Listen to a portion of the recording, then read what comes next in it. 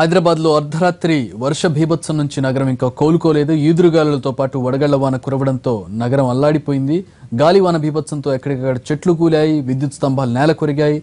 నగరం అంధకారమైంది. కొన్ని ప్రాంతాల్లో ఇప్పటి వరకు విద్యుత్ సరఫరాను పునరుద్ధరించలేదు.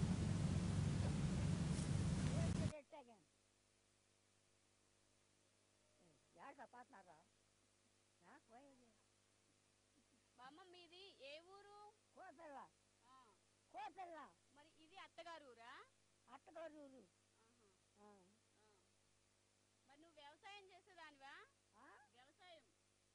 నాటేసేదాన్ని కోత కోసేదాన్ని భారీ వర్షం కారణంగా అమీర్పేట్ పంజాగుట్ట ప్రాంతంలో ట్రాఫిక్ స్తంభించిపోయింది. పంజాగుట్టలో పరిస్థితి మరీ దారుణంగా ఉంది. రోడ్డుపై భారీగా నీరు నిలిచిపోవడంతో వాహనదారులు తీవ్ర ఇబ్బందులు పడుతూ ఉన్నారు. దీనికి సంబంధించిన పూర్తి వివరాలు మా ప్రతినిధి రాఘవేంద్ర అందిస్తారు.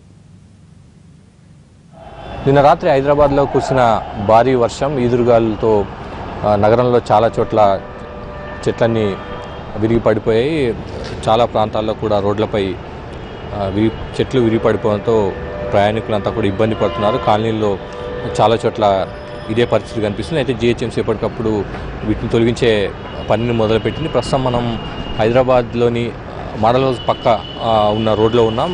ప్రస్తుతం రోడ్డు పైన ఉన్న పరిస్థితి ఇది. నేను రాత్రి భారీ వర్షంతో పెద్ద పెద్ద ఫ్లెక్సీలు కానివ్వండి పెద్ద పెద్ద బ్యానర్లు వాటికి సంబంధించిన అన్నీ కూడా ఎదురుగాలితో కింద పడిపోయి చెట్లు కూడా ఎక్కడికక్కడ కూలిపోయాయి. అదేవిధంగా విరిగి పడిపోయి రోడ్ల మీద పడిపోవడంతో రోడ్లపై వెళ్ళే వాహనాలంతా కూడా ఇబ్బంది పడుతున్నారు. నిన్న రాత్రి తీవ్రమైన ఎదురుగాలులతో కూడిన భారీ వర్షం కురవడంతో చాలా చోట్ల కూడా నగరంలో ఇదే పరిస్థితి ఉంది.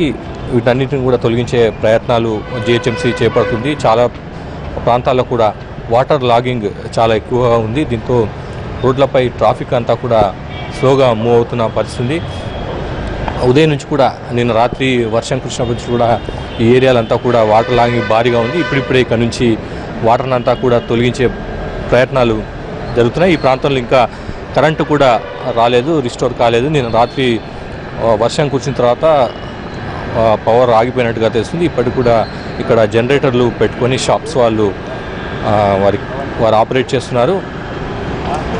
వర్షం తీవ్రత ఈదురుగాలుల తీవ్రత చాలా ఎక్కువ ఉండడంతో చెట్లన్నీ కూడా విరిగిపోయాయి. చాలా వేగంగా ఈదురుగాలు వీసిన నేపథ్యంలో ఎక్కడికక్కడ చెట్లు విరిగిపోయిన పడుతుంది చాలా చోట్ల కూడా వాటర్ అంతా కూడా నా డ్రైనేజ్ వాటర్ అంతా కూడా బయటకు వస్తున్న పరిస్థితి వాటర్ ఎక్కువగా ఉండడంతో బయటకు పోయే పరిస్థితి లేకపోవడంతో రోడ్లంతా కూడా చాలా చోట్ల కూడా వాటర్ లాగింగ్ కనిపిస్తుంది చెట్లు కూడా విరిగిపోయిన పరిస్థితి. అయితే ఎప్పటికప్పుడు వీటన్నిటిని కూడా తొలగించేందుకు ప్రయత్నాలు జరుగుతున్నాయి. ఆ, పవర్ లేకపోవడంతో చాలా చోట్ల జనరేటర్లు పెట్టుకొని ఏరియాలో షాప్స్ అన్నీ కూడా ఆపరేట్ చేస్తున్నారు.